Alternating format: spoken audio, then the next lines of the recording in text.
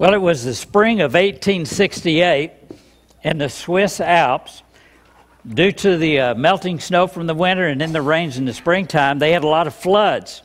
And so the uh, Swiss government called on all the people to do two things donate stuff and also come and help because they had a lot of people in need. In fact, they adopted a motto for that appeal, and it was this one for all and all for one. You may have heard that before, right?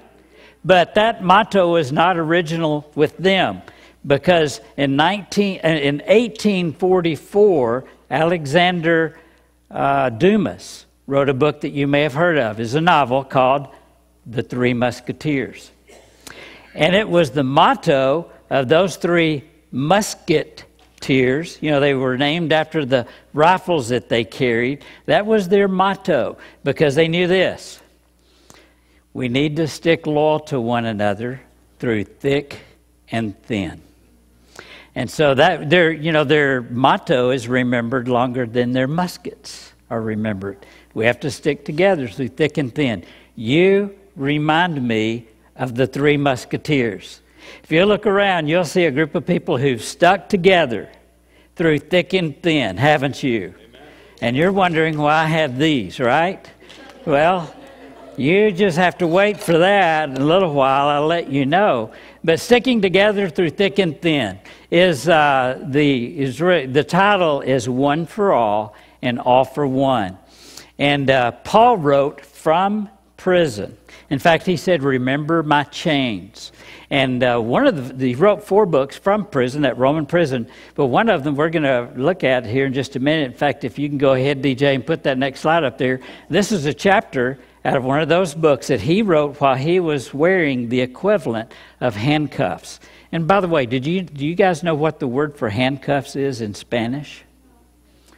Esposas. De veras.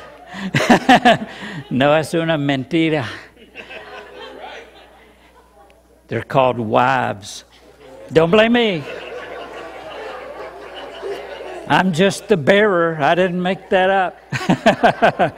but in Ephesians 4, Paul made an appeal to that church that he was very close to. He had spent three years with them. He, he was, in fact, their church planter, and he left his friends Aquila and Priscilla to co pastor that church while he went on subsequent mission trips. And then another time he, he made a stop by just to meet with the leadership to encourage them. But this is a book that he wrote literally from that prison in Rome. And we're going to read from it. If you'll look in your Bibles, Ephesians chapter 4, we're going to look at some of that together. Some of you may, may be able to see it up here on uh, this as well. You know what? It's interesting to me that uh, when we you know, I create these PowerPoints on one program, but then we translate it to another one and it messes it all up. But uh, yeah, that's not at all how I had it on the deal. That's not the first time that's happened, though, is it? And we'll I'll stick together through thick and thin, and I think it'll it'll work out anyway. But uh, if you'll go ahead and look in your Bibles, Ephesians chapter four, we're going to read from this passage. But it's interesting the way the the, the structure of the section that we will read, Paul chases a rabbit right in the middle of it. He, he makes kind of an excursion and makes some other points. And, but those points are still relevant. But I'm going to treat them separately. And I think you'll catch up why. So, actually, what we're going to do is read the middle section of this passage together first. And then we'll read the, uh, the sec- section that precedes that middle and then succeeds it. But uh, I guess I'd like to start um, you know, my print is so small here. It's, uh, yeah, and on verse 8 right there. This is the rabbit that he chased in the middle of this appeal for unity. And he said this. Say again? Yeah, that's, uh, that looks good.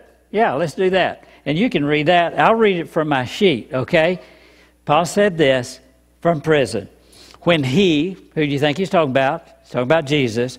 When he ascended, you know, went back on high, he took many captives. That's a little phrase that would, you know, we're not, we're going to kind of just pass over that this morning. It's another subject. But he took captives, and this is part we're going to talk about. He gave gifts. He gave gifts to, pe- to his people. Now, what does he ascended mean? Except that he also descended to the lower earthly regions.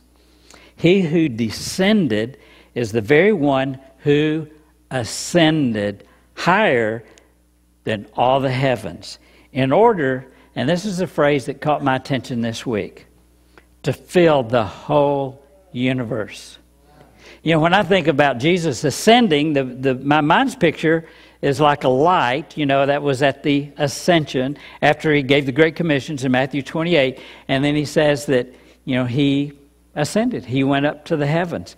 And, and I guess I picture it like, you know, used to, we used to watch the space shuttles take off. And the higher they get, the smaller they get. And they get tiny and tinier and tinier. And finally, they get so small that you can't see them. That's what, in my mind's eye, until this week, I had pictured what it must have looked like when Jesus ascended.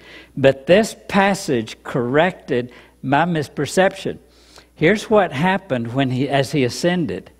He didn't get smaller and smaller. He filled the whole universe.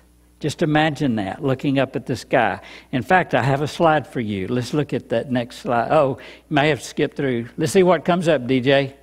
There you go. Just think, looking up at the sky and imagining Jesus filling the whole sky, not ascending into a little speck, but filling it all. Now, I did not take this picture, but I saw a sight very similar to this picture this week. Kelly, as you know, uh, Kelly and I went up to Colorado for a little vacation, and Thursday night a week ago, we were dry, on our way up there. We left in the afternoon, and, and so it was good and dark. Uh, we were driving between uh, Pecos and Carlsbad. And it was a, a moonless night, a cloudless night, and big stars. And so we were driving along, and I said, You know, we've got many miles to go, but you know what? Let's, here's a road. We exited the highway, and we drove down this little, you know, dusty oil field road until we got far enough that the car lights from the highway wouldn't cause a problem. And we stopped, turned off the truck, and got out and, and we leaned back against the truck, and I put my head back on the hood of the truck so I could look straight up. And I saw a sight, not quite, but pretty similar to that right there. And it was just gorgeous. The Milky Way was so prominent. And I was already working on this message, and I thought of that. Jesus fills all of that. And so that impressed me, as you can tell. It left an impression on me. And then as we, you know, then we got in the truck, went the rest of the way, and we'll actually spent the night in, uh, uh, what's that little town where they had the aliens? Roswell. And then the next day drove the rest of the way to Colorado. But uh, this took, took us by surprise. We just planned the trip when it would fit in our schedule. But what the surprise was is we, we were in Colorado just right for the, for the fall foliage. And I hadn't even thought about that. And so let's see, let's go through a few of those pictures. What's a vacation without pictures, right? DJ, let's see. There we are. And you know, you may thought that uh, my esposa may have been a uh, uh, an imaginary friend because she can't come on Sundays, but that is Kelly right there.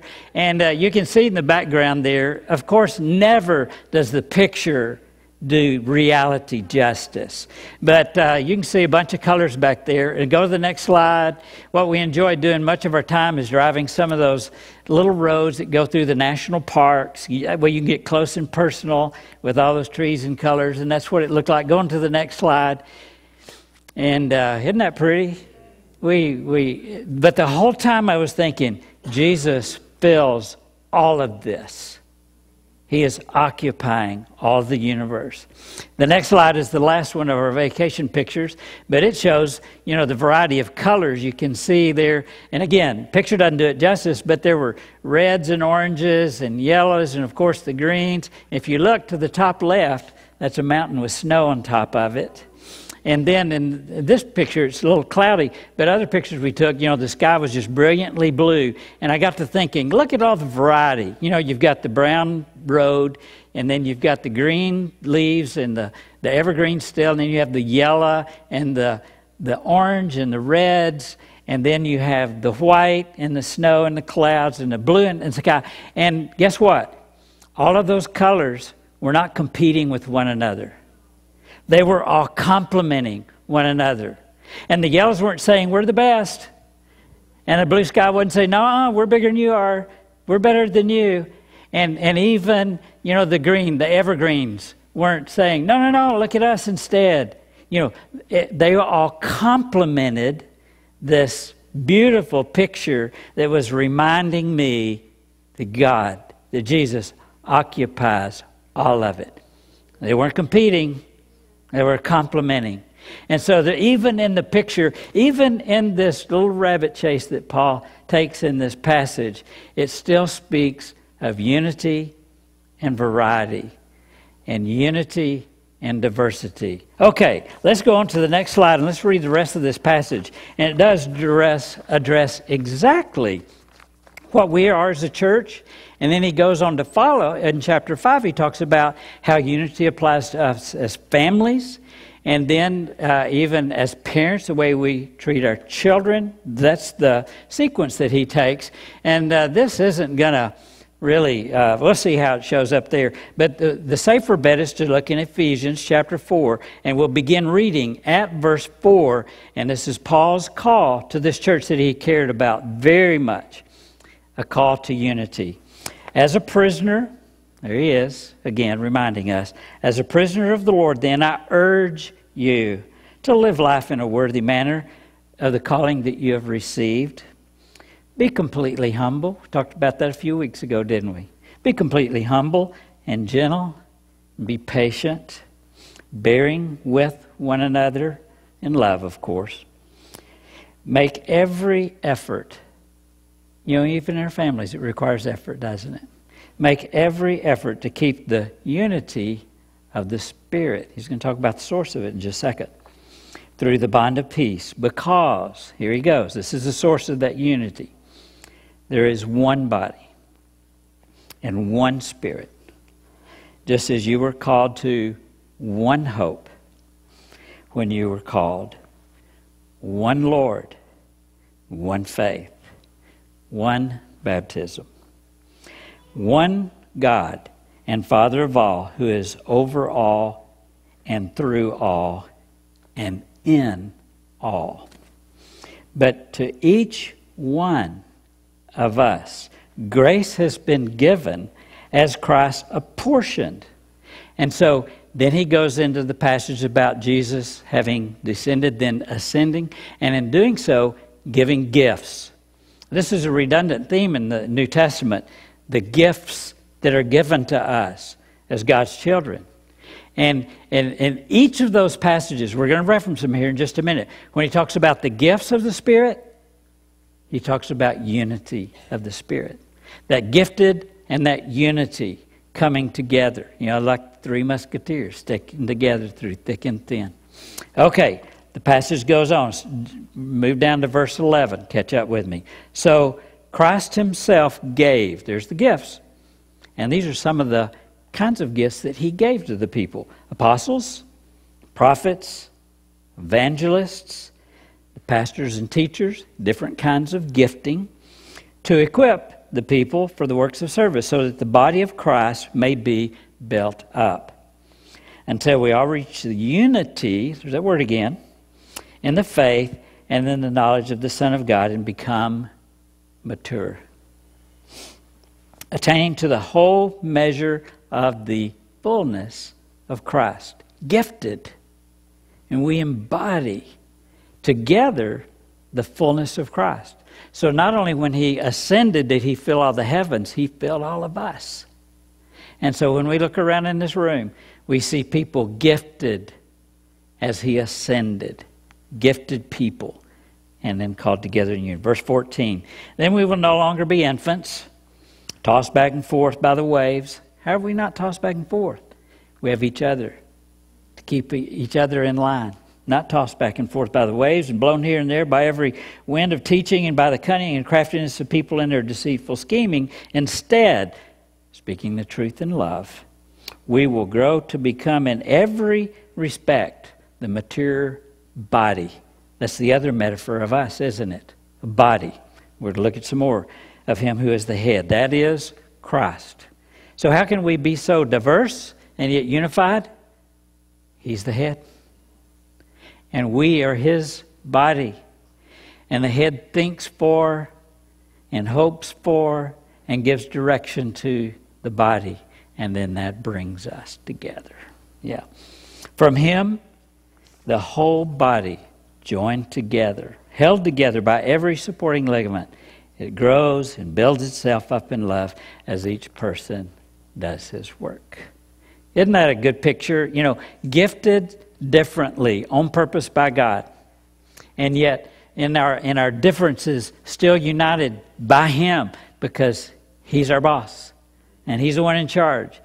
And, you know, the church is seen as the body of Christ and He is the head. And so that's the source of our unity. Not that we will all have the same ideas. No, we don't. On purpose. Who was it that said, if you and I have the same ideas, then one of us is not necessary? You know, it's, it's, it's really important that we voice our different ideas and preferences and, and, uh, and, and even, you know, the different kind of music that we may like. Uh, but that we all come together recognizing that. He's the one that's really in charge. And it's not my opinion. We're not in competition with one another. We complement one another. That's the difference between a solo and a symphony, isn't it? They're complementing one another. Nobody's competing. So here we are, uh, the body of Christ. And, like I said, this is a redundant theme throughout Scripture. It's not the only pay, place. He's calling us to live this a, a life that's worthy of the gifts that we've been given, because we're not in competition with one another either. And so the Bible teaches one for all and all for one. And I came up with a picture that you've seen something similar to this before. Go ahead and show that next slide if you would, DJ. Isn't that what we look like? Look at the variety that's expressed in that. And, and yet we're all united together. Yesterday in college football, you know, those teammates all gathered together and they did that, didn't they? All right, we're all one for all and all for one. They work together. Uh, Chris, uh, I mean, uh, uh Sean, did you enjoy that game yesterday afternoon? Yeah, if any of you heard or saw the Aggie game, it was quite the deal. But uh, I digress. Uh, let's see. One for all and all for one. And even those games, that game was a picture of that because you had different players who made doofus moves. And you had other players who made amazing moves. And then as a team, together, you know, they were able to beat Tennessee. Yeah. Because they were working, they weren't competing with one another, they were complementing one another. Okay, here's some of those other passages of Scripture. You've heard these before. Romans chapter 12. Again, the same Paul talking about gifts. And it's a little different list in, in uh, Romans 12. In 1 Corinthians 12, it's a little different list. But the point is the same every single time. We're gifted in diverse ways diverse on purpose, gifted differently, yet for one purpose. And in each of those appeals to exercise our gifts is an appeal to do so in unity, to do so together. Yeah. The very last prayer that Jesus had with his disciples, we referenced it a few weeks ago. Um, it's in John chapter 17, is where that's recorded. And there was a word that Jesus used over and over and over again in that passage. He was praying for the disciples, and even says in that very same passage, I no, no longer, speaking to the Father, I no, not only pray for them, but those who will follow them. That's us in this room. And you know what that word was that he prayed over and over and over and over and over again for us? One that they would be one, unified. And so that's the theme throughout all of these different passages of Scripture diversely gifted, but called together in unity to be one. Isn't it cool when it works out that way? Don't you love it? What greater delight for a parent than to see his or her children playing together and loving one another? Isn't that as good as it gets? And as the Father looks to us as His body, what delight that He takes in seeing us playing together and being unified. And many of you, I, am I'm telling the truth, you are an example of this for me. You have stuck together through thick and thin. And it's because of Jesus' call on your lives that you've remained together as one. Great example. We're going to finish with this. I've asked for some help. So, Isaac, if you would bring your esposas with you. And Tom, you go on here, come up here too, because I don't know how to operate these things. Jesse, come on and help me. And uh, George, you're up, man. Come help me. What we're going to do is see an example of Ephesians chapter 4. And I've asked for all this, these people, diversely gifted. we represent a little bit of diversity here on the stage, do we not? But uh, in our appearance, but also in our giftedness. Here's what I want you to do handcuff me to George. I can do that. All right. I don't know how that works. Like that. I want you to know that that's the very first time I've ever been handcuffed. It won't be the last. It won't be the last. Okay. All right. Done by an expert. All right. Uh, George, we better get along now, hadn't we? Okay. Okay. All right, Jesse. Uh, Isaac, now I've been handcuffed twice right here in front of you. Never before happened. Okay, here we are. All right, Jesse, we got to get along now, don't we? Yeah, we're stuck. You know, here we are, and look at the diversity. You know, you can tell that, uh, you know, we are all gifted, but gifted very differently. But now, guess what? We're connected. You know what? All right, let's think of it. What if a fire broke out in this building? It wouldn't be the first time. It's happened twice before. If a fire breaks out in this building, okay, what if George says, hey, that's the fastest way out? And I go, no, huh? I like that door over there. And Jesse says, you are crazy. I like that door. It's the best one out. What if we stand here fussing about what's going to happen? We're going to burn up. That's right. We'll burn up. But guess what? It's in my best interest, one for all and all for one, to say, I think we need to come to an agreement. Okay. now, if we didn't, George would probably just head for that door and drag the rest of us with him, right? and so here we are. Here's a picture that was prompted by a man who, who wrote a letter from prison in chains. But behind the scenes of that, the very words that he wrote, here's a picture of unity. And so we owe one another a terrible loyalty. You've heard me say before, uh, G.K. Chesterton said it, because we're all in a leaky boat on a stormy sea. And so that we would depend on each other's giftedness. And you know, take into account the preferences and the opinions and the cares of each other because we're stuck in this thing together, guys. We don't have a way out unless these guys can come up with a key. I think Tomas has a key for us here. Do all keys fit all esposas? Yes. Oh, really? All right. Well, let's uh, let's un unhitch. connect, unhitch. Yeah, that's the, the right word for that. Yeah, don't lose the key. But, uh, you know, uh, is, is that a picture that we can all keep in mind as we, you know, we'll have differences of opinions along the way, won't we? Yes. You know, as we are prayerfully, uh, is your clock going off every night at 10.02? Mine is. Bing! It goes off. And so I'm reminded to pray for us as we wait for God for our, our next pastor. But as we you know, discuss and read resumes and pray about it, you know, along the way, the preferences of one and the preferences of another may not always be the same. But guys, you know what?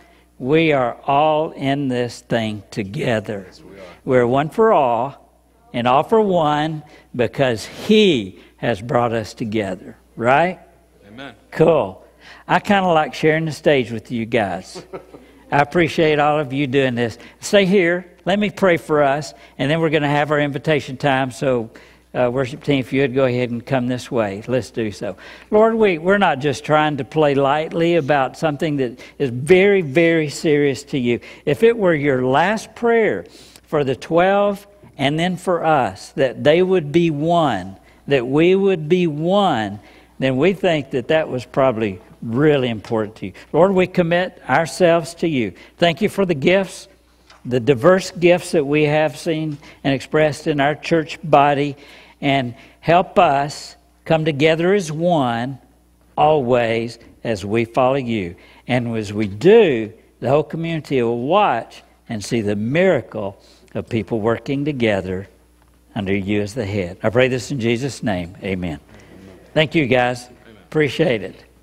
Thanks. Thanks, Tom. Thank you, George. All righty.